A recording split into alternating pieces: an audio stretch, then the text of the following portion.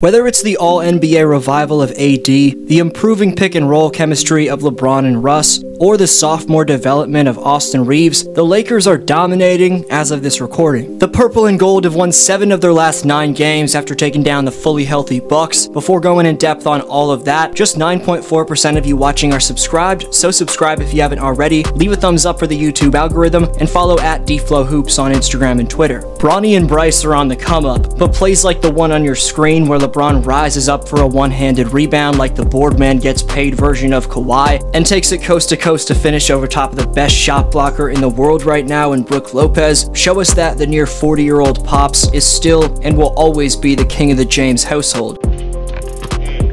See y'all later, Mike. LeBron also recreated his iconic poster on Jusuf Nurkic this year, showing us he still got some monster ups, just like Bronny. With all the mileage that James has racked up, a 20-year time frame in which he's infamously gone to 8 straight finals and scored the most points of all time between the regular season and playoffs, it's incredible that he's still chugging along as he is. LeBron isn't the Miami Heat second Cavalier tenure or even the bubble version of himself, but he's still undeniably a top 5 to 10 player in the game of basketball, and in terms of his all-time legacy, in my humble opinion, he's currently number 2 behind MJ, but again, James is still carving out his legacy as hard as that is to believe, given everyone in his 03 draft class has retired. We've been saying this for the last half decade plus in his later years, but it's still a true statement. LeBron's playing like he's still got three to four seasons left at the top of his game. Despite being an old man in NBA years, LeBron's posting a league 14th best 25.8 points per night, and he's also top 23 at the very least among players in assists and rebounds. Additionally, among small forwards, James is at the very least top 13 in steals and blocks per night. Speaking of the Kings' defense, the man's locking up the perimeter like players around half his age. In defensive rating among three men, LeBron ranks directly behind perimeter clamping 3-and-D phenoms in OG Anunoby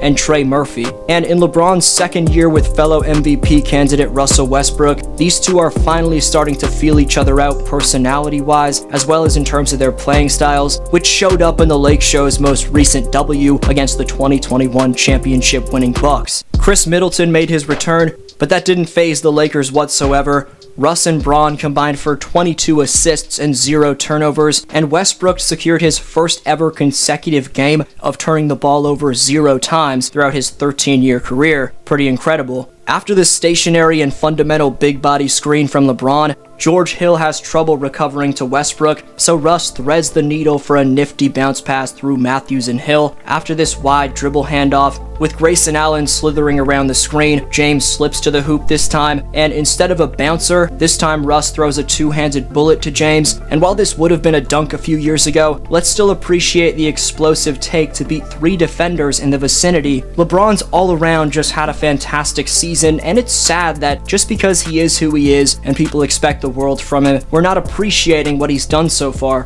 Scariest part of all that is LeBron's not even the number one option for the Lakers right now. That would be the 29 year old former number one pick and the product of Kentucky, Anthony Davis. Back to his all NBA slash defensive team and three time block champion esque self, the brow is absolutely going off right now. He's been shockingly durable this year considering his injury prone history, and all we can do is knock on wood that Anthony continues to battle through the bumps and bruises. Much love to Davis for fighting through these slight injuries so far, and he's got to keep doing a solid job of avoiding them as best as he can, but at the same time playing smartly physical with his well-developed muscular frame, which has led him to make the All-Star team eight times throughout his outstanding career. For now at least, let's give credit to Davis for leading the NBA in rebounding and overall posting a beastly double-double of 26 and 13. Davis continuing to play at an MVP level makes these Lakers a legitimate playoff team. AD's coming off a beastly game against the Bucks where he posted 44 points, 10 boards, 4 dimes, and 4 blocks. Davis is showing that he's producing like a mix of the player that torched the association in the bubble, combined with the player who played with a joyous passion for the game in his early years in the Big Easy with the Pelicans. In LeBron's 20th campaign, LA desperately needs to make the playoffs, which is why so many fans still want them to trade for Buddy Hield and Miles Turner, Hillbilly Kobe in sophomore Austin Reaves is displaying that the Brow, Bron, and Russ could have enough support after all.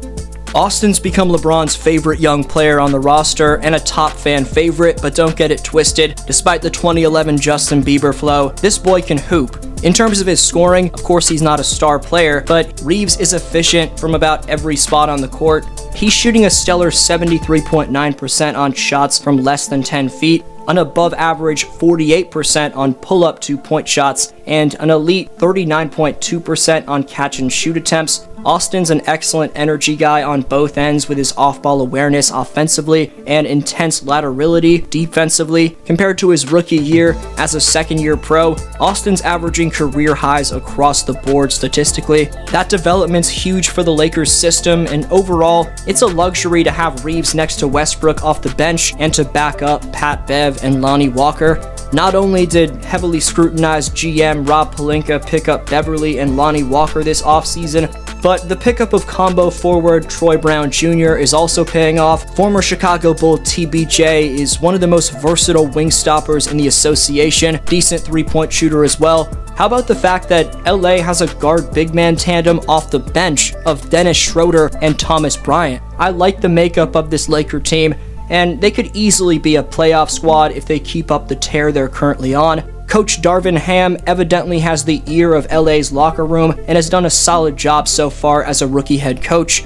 What's been most impressive about the Los Angeles Lakers over this 9 game stretch, and can it last? Best answer down below in the comments gets next video shout out, and the top 5 commenters by December 21st earn free merchandise of their choosing. Today's Speaks winner is Kent Saludo, who says if Ayton wants to reach Jokic or Embiid caliber, he needs to learn how to use his body. He needs to bully down defenders and finish. His hook shots are elite, but he tends to only use that as the only move, then settle too much in the mid range. He needs to be more dominant and assertive, Lastly, he needs to stay consistent because Embiid and Jokic are stars, and you need to be the best every night if you want to be on the same tier as those two centers. Great take, and thanks for watching.